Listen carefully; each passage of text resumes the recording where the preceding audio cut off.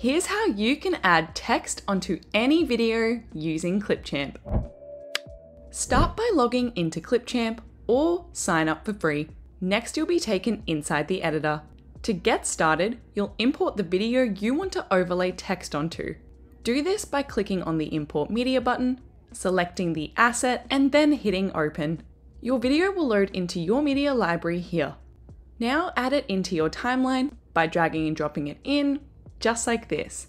Next, to access all of the available text styles, navigate over to the toolbar and then click into the Text tab.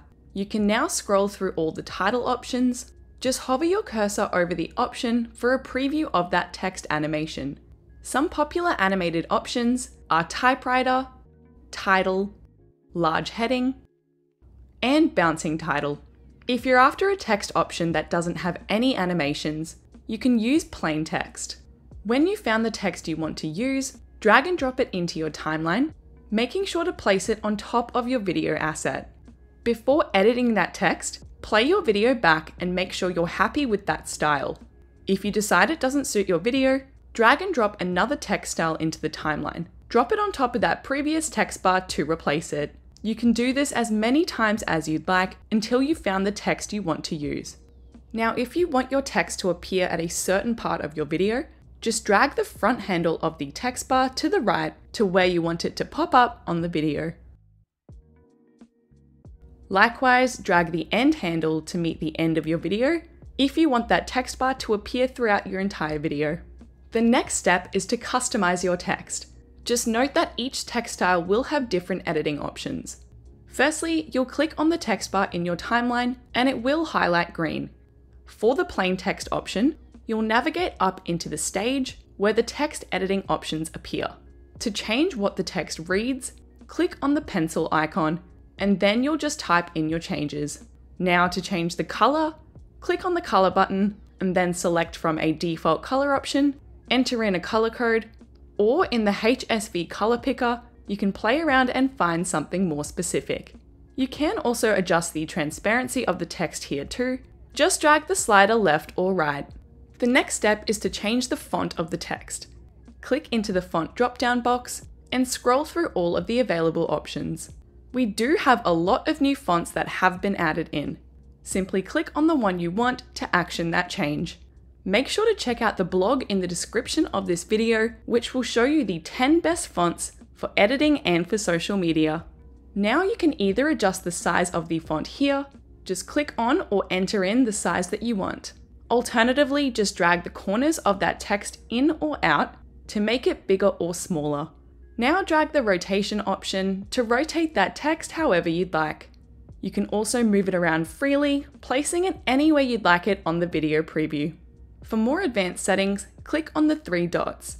You can now change the boldness, as well as the italics of that font. You can adjust the alignment, the position, and the rotation. By clicking on the More Options button, even more advanced settings, effects, and fade options will appear.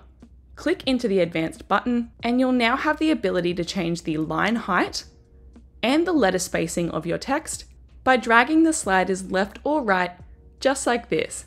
If you'd like your text to look like mine at the beginning of this video, turn on the outline and the shadow options. In the settings tab of outline, choose the thickness of that outline by clicking on one of the options or by dragging the slider.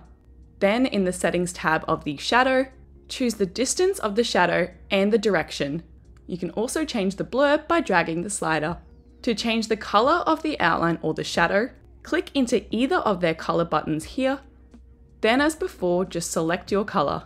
You can leave it at that if you're happy, but to take things to the next level, you can fade your text in or out. Click into the Fade tab, and then drag the Fade in and Fade out sliders. Play your video back to make sure you're happy with the way it looks. Lastly, you can add an effect to your text here in the Effects tab. Just click on the effect that you want, change any of the editing options, for example, the speed and the amount of that effect. Each one is going to have different options. Then play your video back to see what it looks like. You can add as many effects onto your text as you'd like, and if you've added the wrong one, just click on the effect again to deselect it. This last step is completely optional, but if you want more text showing in your video, either add in another text bar or copy and paste your current text. Click on your current text bar in the timeline, then hit Ctrl C, Ctrl V. All of your previous edits will be the same. Now just follow the same editing steps as before to customize that second text bar, move it anywhere you want on your video preview, and adjust when it appears. Once you're completely happy and all of your edits are complete, you can export your video by heading to the export button, selecting the video quality, then once that export's complete, a copy will automatically download straight to your device all ready for you to share. And that's how you can add text onto any video with Clipchamp. If you like this video, don't forget to like and subscribe to our channel for our weekly how-to videos.